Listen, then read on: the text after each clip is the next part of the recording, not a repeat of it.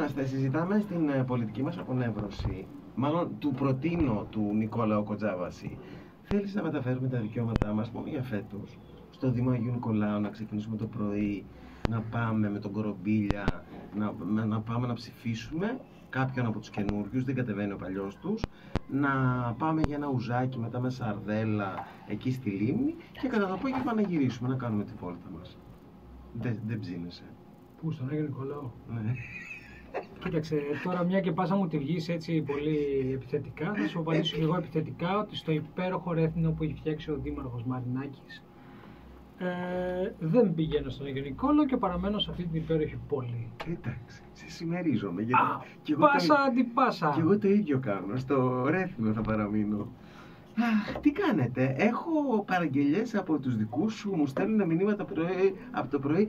Δεν ξέρω γιατί οι φανατικοί σου που σε ακολουθούν τα τελευταία 2 με 3 χρόνια, Ναι. κατά τις 1 παρά 25 τις Τετάρτες, χωρίς παρεξήγηση. Αυτοί το λένε, δεν το λέω εγώ. Ναι, Θα έρθει ο κτηνίατρος σήμερα. ο κτηνίατρος. ναι. Έτσι είναι αυτά παιδιά, έτσι είναι. Και πέρα από την πλάκα, ο άλλος φανατικός, ο Άρης, Άρη καλημέρα, μας ε, ενημερώνει ότι έχει πάει, δε- δεν το θυμάμαι απ' έξω, του προώθησα για να ξέρεις του Νίκου το μήνυμά σου, ε, για να το κοιτάξει. Είχε πάει ένας ε, ακροατής μας ε, χθες στον Δήμο Σοφάδων Καρποχωρίου ε, για να πάνε υλικά στους ανθρώπους τους πλημμυροβαθείς και μας έχει στείλει έτσι μια εικόνα από το τι συνάντησε εκεί πέρα. Πάμε. Τι εικόνα να στείλει. Τα πράγματα είναι πολύ απλά. Πάλι καλά που υπάρχουν οι εθελοντές, οι πολίτες και οι άνθρωποι που συμμετέχουν και Είπες- βοηθούν. είπες την Την καλύτερη προηγούμενη φορά λέγαμε ότι μου- το μοναδικό πράγμα που σαν εικόνα που είδαμε ήταν μεγάλους φορτωτέ να κουβαλάνε τους ανθρώπους στις χούφτε και μερικοί εθελοντές, ήρωες άνθρωποι, οι οποίοι πάνω σε βάρκες φουσκωτές προσπαθούσαν να απεγκλωβίσουν τον κόσμο. Η συμμετοχή του κράτους αρχίζει και τελειώνει στο ότι δεν μπόρεσαν να εξασφαλίσουν μία εξάδα νερό. Νερό! Τραγικό. Νερό! Έχουμε 2023. Ο πολεμικός μηχανισμός της χώρας σε απόλυτη ετοιμότητα και η πολιτική προστασία του μαχητή χαρδαλιά δεν μπορούσε να εξασφαλίσει ένα μπουκάλι αφιαλωμένο νερό στους κατοίκους και για άλλη μια φορά αυτή η χώρα με την απίστευτη συναδελφικότητα και αδελφότητα που υπάρχει μεταξύ μας ανακάλυψε το μαυραγορητισμό φτάσανε να πουλάνε τα μπουκάλια το νερό 6, 7, 8 και 11 ευρώ την εξάδα στα χωριά των πλημμυριοπαθών. Γιατί εμείς οι Έλληνες πάνω απ' όλα την αλληλεγγύη την έχουμε στο πετσί μας. Αλλά το πιο βασικό χαρακτηριστικό που μου άρεσε πάρα πολύ είναι ότι το κράτος σε μια ένδειξη απόλυτης ετοιμότητας δεν μπόρεσε απλά να πάει νερό. Φαντάσου αν μη τι άλλο να πρέπει να απεγκλωβίσει κόσμο, να πρέπει να κινηθεί ο μηχανισμός να σώσει ανθρώπους, να πρέπει να κινηθούν ελικόπτερα και διάφορα άλλα συστήματα ασφάλειας και προστασίας, τα οποία είναι όλα ένα απέραντο μπάχαλο. Αλλά το πιο σημαντικό είναι νερό ρε παιδιά. Πόσο κοστίζει στο κράτος να μεταφέρει αφιαλωμένο νερό στους κατοίκους; Ναι, είναι τραγικό. Πόσο εύκολο είναι. Μιλάμε για επίπεδο, δεν ξέρω, αφρικανικής χώρας ε, την οποία εκμεταλλεύονται οι Γάλλοι για ένα κομμάτι ψωμί και πάλι οι κα- οι συνθήκες θα ήταν καλύτερες σε μια φάση πλημμύρας και εδώ πέρα είδαμε το υπέροχο αυτό επιτελικό κράτος του Μητσοτάκη να μην μπορεί να εξασφαλίσει μια εξάδα νερό ανά οικογένεια στους πλημμυριοπαθείς. Τι άλλο συζητάμε εδώ, τι άλλο θέλετε να ακούσετε; Τι άλλο θέλετε να πούμε, γιατί, για ανθρώπους, για τραυματίες, για αντιμετώπιση, για νοσοκομεία, για πολιτική προστασία, πλάκα μου κάνετε. Νερό, νερό. Δεν μπορούσαν να τους πάνε νερό. Από εκεί και πέρα νομίζω ότι όλη η συζήτηση για την ετοιμότητα του ελληνικού κράτους φανταστείτε να γίνει και πόλεμος δηλαδή. Έτσι, με αυτό το μπάχαλο, με αυτά τα μπάχαλα που μας κυβερνούν γενικότερα, φανταστείτε να γίνει πόλεμος. Έχουμε Και εδώ πεθάνει μιλάμε. μόνοι μας. Ναι, Εμείς πεθαίνουμε μόνοι μας, δεν χρειάζομαστε. σε πόλεμο. Δεν Όχι, χρειάζεται, δεν παιδί. χρειάζεται πόλεμος. Εγώ πιστεύω ότι οι Πεθαίνουμε μόνοι Τούρκοι μας. αγωνίζονται στεναρά να παραμείνει ο Μητσοτάκης άλλη μια δεκαετία. Θα έχουμε εξαφανιστεί μόνοι μας. Ούτως ή άλλως, έτσι όπως δεν έχουμε λεφτά, δεν μπορούμε να κάνουμε παραπάνω παιδιά και να τα συντηρήσουμε και να τα μεγαλώσουμε.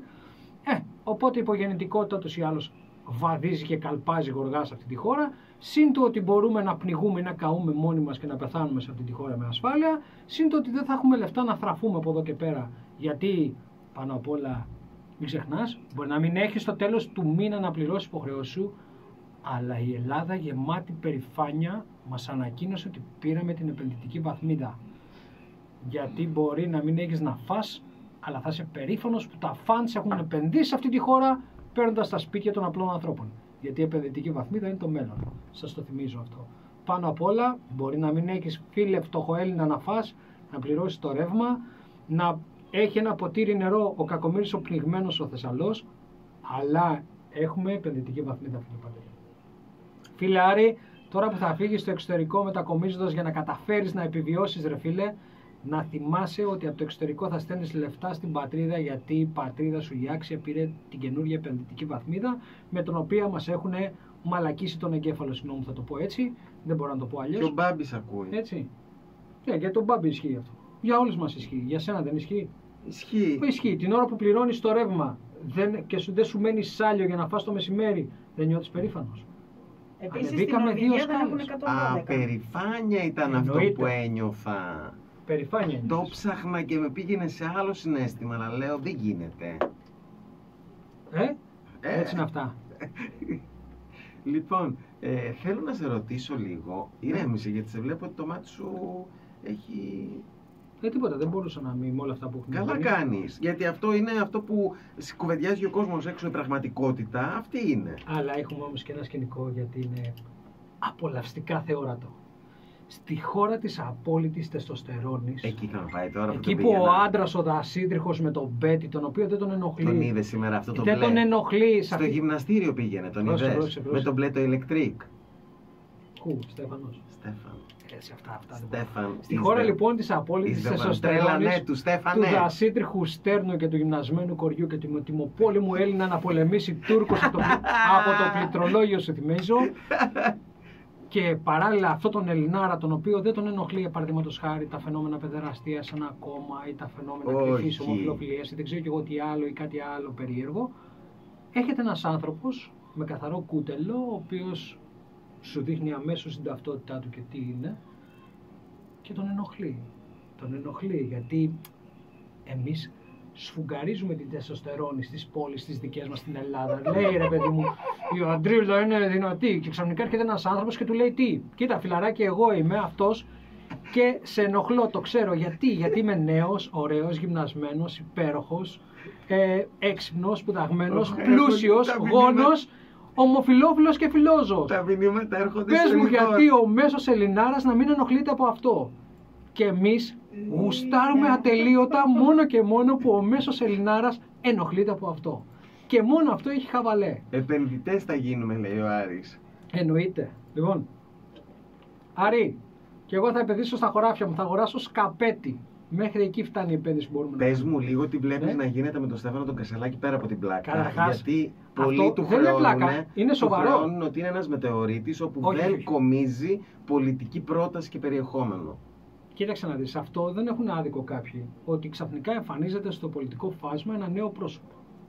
Ο οποίος όμως πρέπει να παραδεχτούμε ότι όλοι ότι κάνει μια εξαιρετική εκμετάλλευση των μέσων κοινωνικής δικτύωσης, εξαιρετική, παίζει με την επικοινωνία στα δάχτυλα. Πέρα από αυτό, κάνει αντιπολίτευση. Πρόσεξε, Άκουσα κάνει πράγματα για τη αντιπολίτευση, το δικαιοσύνη που εκμεταλλεύεται. περίμενα να τα ακούσω από την αντιπολίτευση και δεν το είχα ακούσει. Νέο πρόσωπο ήταν και του οι Σπαρτιάτες. Έτσι βγήκαν. Ναι, αλλά δεν κάνανε αντιπολίτευση οι Σπαρτιάτες. Ναι, αλλά δεν το είπανε. Αυτοί που λένε τώρα για τον Στέφανο. Ναι. Και οι Σπαρτιάτες, η Νίκη, όλοι κουκουβάω εκεί όλοι. Ναι, βγαίνανε και αυτοί Ε, έτσι. κοίταξε, αν πουλάς νανογιλέκα, πιστεύεις σε UFO και ότι κάποιοι μέσα από τις ταυτότητες θα ελέγξουν την πραγματική Ναι, ναι. ζωή, έχεις ένα θεματάκι. Εκεί ψηφίζεις νίκη, φίλε. Και σε ενοχλεί το ότι ο άλλος έρχεται με μια διαφορετική ταυτότητα. Είναι κλασικό αυτό στην Ελλάδα. Το θέμα δεν είναι αυτό. Το θέμα είναι να σου πλασάρει ο άλλος τεστοστερόνη. Σε φτιάχνει, έρχεται ο Σπαρτιάτης και σου λέει: Εγώ είμαι αντρούκλα, φίλε. Θα πάρουμε τους Τούρκους εμείς. από το πληκτρολόγιο. και το κάθε Ούγκανο όρκ εκεί πέρα βρίσκει ξαφνικά τη φυλή του, ρε φίλε. Και είναι όλοι αγαπημένοι. Έρχονται και οι άλλοι χριστιανοταλιμπανέοι από Θεσσαλονίκη. Ξέρεις όλοι αυτή η νίκη και δεν συμμαζεύεται μα και βρίσκουν και εκεί τους αντίστοιχους Ταλιμπανέους τους εδώ και γινόμαστε όλοι μια μεγάλη οικογένεια. Γελάς 55% επί του συνόλου μάζεψαν όλοι αυτοί.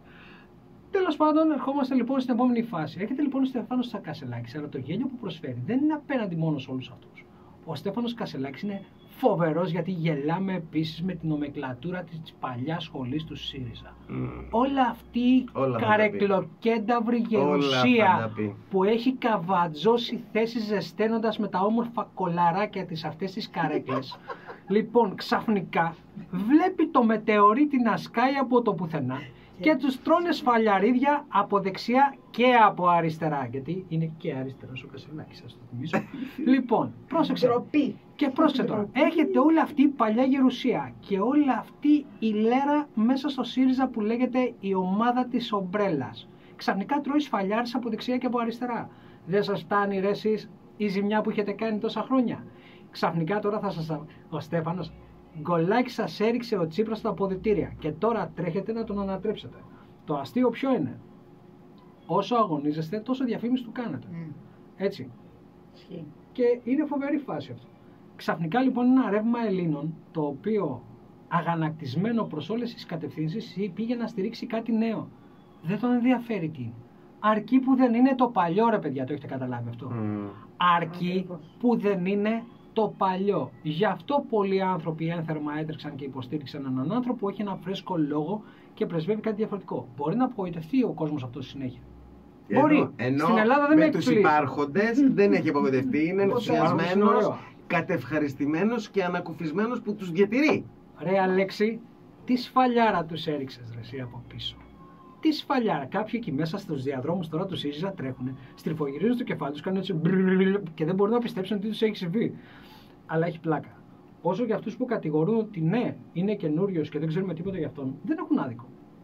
Δεν έχουν άδικο, είναι γεγονός αυτό. Ένας άνθρωπος εμφανίζεται, νέος, ωραίος, υπέροχος, χαμογελαστός, επικοινωνιακός, όντως δεν ξέρει το background, Παιδιά, όντως δεν, ξέ- δεν έχει συγγνώ- μια πολιτική ιστορία. Αλλά στην Ελλάδα του Άδωνη Γεωργιάδη και του Μάκη Βορύδη Συγγνώμη. και όταν του πρωτα- Φίλη και του Δρίτσα, θέλεις πολιτική πορεία κι άλλη. Δηλαδή δεν χορτάσατε από τους παλιούς. Πάμε σε κάτι καινούργιο να δούμε τι μπορεί να παίξει. Εντάξει, και ο Μητσοτάκης καταλαβαίνω, το ξέρουμε καλά. Πολιτική Θες να οικογένεια σε του πάω λίγα 1890. χρόνια πίσω, όταν Πού; πρώτο εμφανιζόταν ο Κυριάκος Μητσοτάκης χωρίς πολιτικό παρελθόν, όταν πρώτο εμφανιζόταν ο Κωστής ο Μπακογιάννης χωρίς πολιτική εμπειρία από την περιφέρεια, όταν πρώτο εμφανιζόταν οποιοδήποτε πολιτικός, Καραμανλής. ήταν το ίδιο και το αυτό. Δεν ήταν οποιοδήποτε, ήταν Ο γόνοι οικογενει- Μητσοτάκης- οικογενειών. Ο Μητσοτάκης έχει πιστοποίηση, ρε παιδί μου. Δηλαδή, κοιτάς από κάτω Α, στο. αε, ζω, ζω, ζω, Έχει ζω. Άιζο, Άιζο. καταρχάς έχει άιζο, έχει οικογενειακό άιζο. ο Μητσοτάκης. Έχεις Δηλαδή, και το ζώο. Τον γύρισες από κάτω και έχει αυτό το, Τίποτα. το barcode, ρε παιδί μου, που Δεν κάνει μου πιπ. ξαναστέλνει. Άκου τώρα, η που κάνει Μπακογιάννη πιπ. με SMS στο κινητό δεν μου ξαναστέλνει χρόνια πολλά. Θα μου τα κόψει. Ε, ρε παιδί μου, Φυρί, φυρί το έχει, πάω. έχει πολιτικό άιζο. Η Μη οικογένεια έχει πιστοποίηση πολιτικής οικογένειας. Έχει πιπ, το χτυπάς στο μηχάνημα και σου γράφει αμέσως. Πολιτικός.